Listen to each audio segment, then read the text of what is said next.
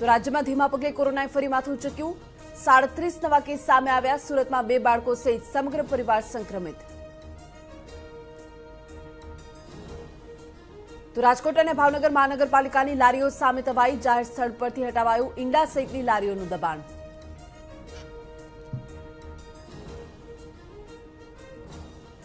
જસદણના પાટીદાર સંમેલનમાં અપૂર્વ મુનિ સ્વામીનું નિવેદન. કહ્યું કે પાટીદારો ઈંડાને નોનવેજની લારી ઊભા રહેવાનું બંધ કરે. તો રાજ્યમાં વધ્યો ઠંડીનો ચમકારો.